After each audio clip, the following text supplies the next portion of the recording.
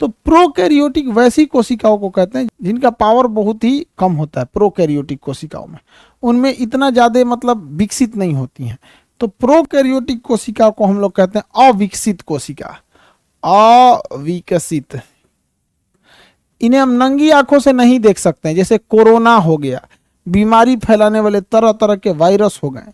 ये सारे वायरस और बीमारी फैलाने वाले जो होते हैं, ये कैसे होते हैं सब? प्रोकैरियोटिक प्रोकैरियोटिक अविकसित होते हैं। और हम लोग जो दिखाई देते हैं विकसित, भेड़, बकरी, मुर्गा, मुर्गी, पेड़, पौधा, ये सब क्या है? विकसित कोशिका है। हमारे अंदर पूरा शरीर में फ़ंक्शन है।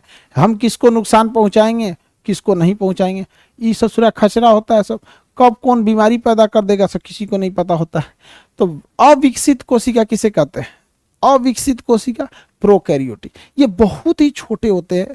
इनका शरीर नंगी आँखों से नहीं दिख सकता है। हम लोग जो होते हैं, यूकैरियोटिक में आते हैं तो याद कैसे रखिएगा?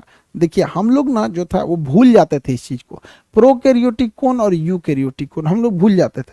तो हम लोग ऐसे याद किए थे, यू यू यू, यानी हम सब, यू यू यू।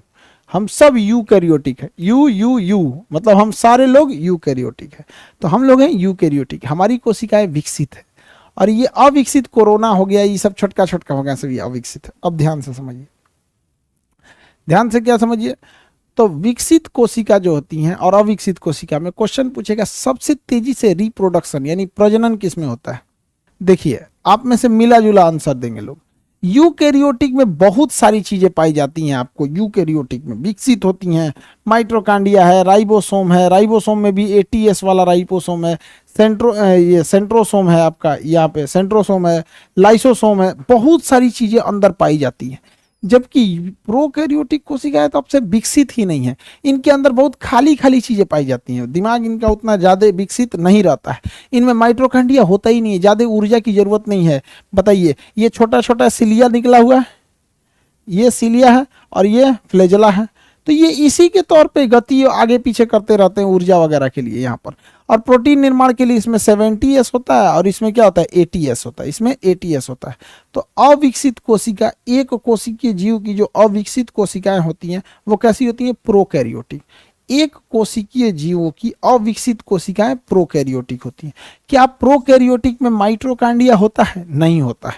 प्रोकैरियोटिक में माइट्रोकांडिया नहीं होता है। तो ये आगे पीछे कैसे गति करते होंगे सब? कोरोना वोरोना कैसे? तो ये सब गति करते हैं सीलिया फ्लेजला से। किससे गति करते हैं? ये छोटा छोटा है सीलिया और ये है फ्लेजला। तो बताइए, जितने प्रोकैरियोटिक छोटका है गति कैसे करेंगे? सीलिया तथा फ्लेजला के मदद से। सीलिया तथा फ्लेजला के मदद से।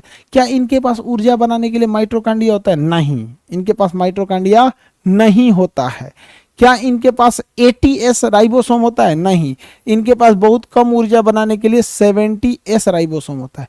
कौन सा होता है? सेवेंटी एस राइबोसोम होता है। इनके पास ऊर्जा बहुत ही कम ज़रूरत भी होती है इन लोगों के यहाँ पर। नंगी आँखों से हम देख सकते हैं यूकैरियोटिक को, क्योंकि आकार में बड़ी होती है। ठीक है? हालाँकि नंगी आँखों से तो नहीं देख सकते हैं, लेकिन आकार में तुलना में बड़ी होती है। ये आकार में क्या होती है? छोटी होती है।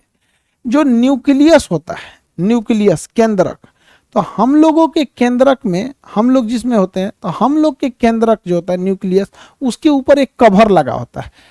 कवर ऑन न्यूक्लियस, और इसके न्यूक्लियस के ऊपर कवर नहीं लगा रहता है। हम लोग के न्यूक्लियस के ऊपर कवर लगा रहेगा। जैसे हम आपको अभी बताते हैं, ये न्यूक्लियस है